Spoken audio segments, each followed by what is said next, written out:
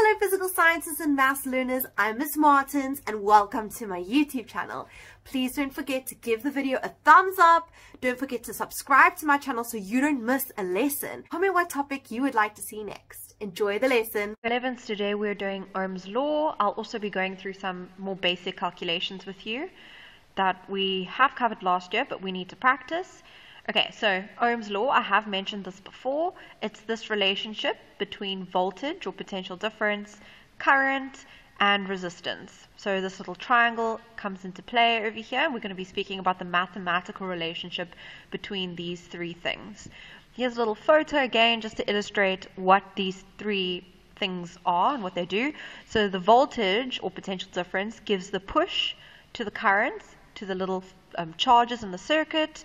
So you see he's kicking the, the amp, so that's the current. The current flows, and the resistance resists the current. So it kind of impedes the flow. So yeah, you can see he's tying a little rope around the current, and this current guy is saying, currently I'm not traveling very fast, okay? It's supposed to be funny. Okay, Ohm's law. This is a definition that we can ask you, so maybe I should just make that clear definition, all right, here, and I want this in your books, please, because this is the number one new definition you are learning this year in grade 11. Okay, so let's read. The potential difference across a conductor is directly proportional to the current in the conductor at a constant temperature. So it's this V equals I times R thing. So potential difference is directly proportional to current. And you know what directly proportional means. Here we go with the mathematical relationships.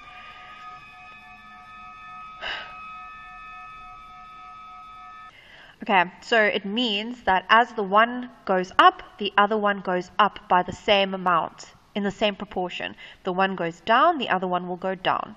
So as potential difference or voltage increases, so will the current increase. And that makes sense because remember the potential difference is the push that the charges need. And when we push the charges, that causes current. So if we give more push, okay, that sounds weird. If we provide the charges with more of a push, so more power basically essentially, then we'll have a stronger current. Okay, here's the relationships again. We can use this triangle to derive any one of the three equations. It's the same thing. It's just isolating a different variable each time. And, okay, yeah, so this is Ohm's law as an equation over there, and this is Ohm's law as symbols. So V, voltage or potential difference, is directly proportional, that's a little fish sign, to I, which is current. But the thing is, it must be at a constant temperature. If we change the temperature, this relationship will not work. So voltage is directly proportional to current at a constant temperature. This is important and you need to have that in your book as well. Okay, now we have a graph. You can potentially receive a graph like this in your exams and you have to understand what's going on. So over here we have voltage on the y-axis, current on the x-axis, and we have a straight line a graph that's a straight line going through the origin. In other words, it cuts yeah, at 0, 0. So here it says the graph of best fit is a straight line through the origin. That's important. And what this means is if it's a straight line and it's going through the origin, it means that the conductor is obeying Ohm's law. And Ohm's law basically says that the resistance will remain constant provided that the temperature doesn't change. So if you look here, voltage divided by current will give you resistance.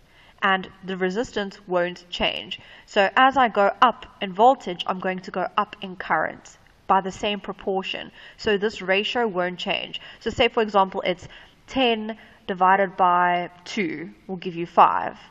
Or 15 divided by 3 will give you 5, or 50 divided by 10 will give you 5. So you can see that the ratio of voltage and current will give you a constant R, and that's why the graph is straight and it goes through the origin.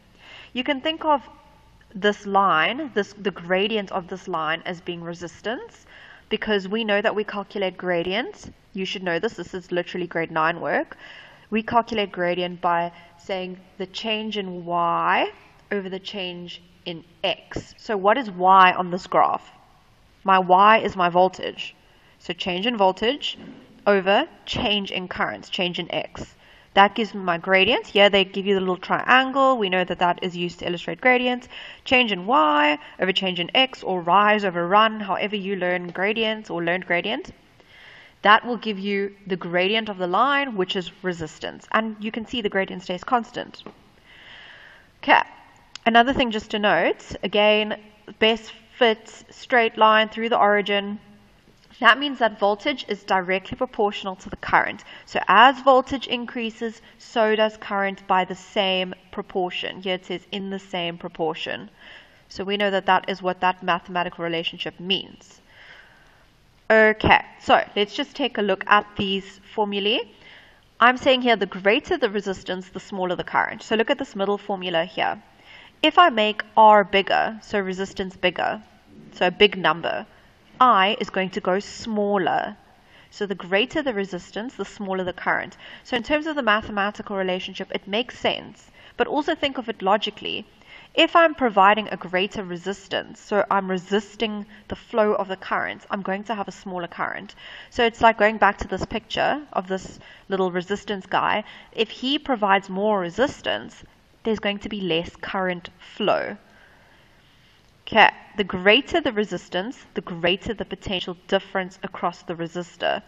So what that means is if I choose to um, include a resistor in my series and it has a very high resistance, I'm going to need to increase my potential difference.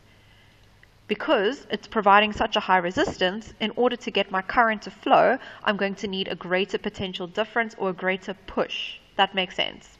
So V, voltage or potential difference, is directly proportional to R. So you can see that here with this formula, if I increase R, so make this number bigger, V is going to go bigger. Okay. Now that just brings us to the last little section of this video, Ohm's law. And you know what Ohm's law is. So if it obeys Ohm's law, we're going to see a straight line through the origin when I plot voltage and current against one another. So it means that the resistance is constant, the resistance does not change. Here we can see straight line through the origin, constant resistance, voltage divided by current will always give me the same R value. So here, so we can use this relationship or this equation. And it says most metals and commercial resistors are close to being ohmic. Okay? Now, non-ohmic does not obey Ohm's law. Look at this voltage and current graph. You do not see a straight line that goes through the origin. You see a kind of a curved line. Okay, so that means that the resistance is not constant. If I go voltage divided by current, I'm going to get different resistance values as I go along. So it'll only work, this equation will only work for specific values, for specific sets of values, but it doesn't always work the ratio doesn't always remain constant, therefore resistance is not always constant. So you just need to be aware of how a ohmic graph looks versus a non-ohmic. Here's another um, comparison. So this is voltage or potential difference against current. Here's an ohmic resistor and a non-ohmic. See, it curves like that. And again over here, resist um, resistance is constant here if it's an ohmic device. Resistance is not constant here if it's a non-ohmic device. If you guys are paying attention, you'll actually notice that in this example, they've swapped the axes. So here we've been doing, if you look at all these graphs, we've been doing voltage on the Y. But if you look here, voltage is now on the X. That's okay, doesn't matter.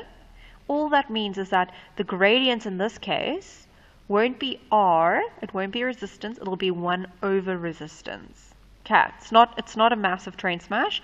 Say you work out the gradient here and it's a half, 1 over 2. Then resistance will be 2 over 1, so the inverse. If you work out the gradient for this line and you get 10, so the gradient is 10, resistance will be 1 over 10. That's just because you've swapped current and voltage. Don't worry too much if you're not understanding what I'm saying. We should cover this in calculations. Same thing here, current and voltage. We've swapped axes here, and that's why the curve is going like this. Okay, look at the, the curve here. It's going curving like upwards. Here it's curving downwards. It's just because we swapped the axes. Okay, so you need to look at the axes carefully uh, if you get a question like this. Okay, so that's Ohm's law. In the next little video, I'm going to go over some more basic calculations, um, covering work that we did in grade 10, so please watch that video.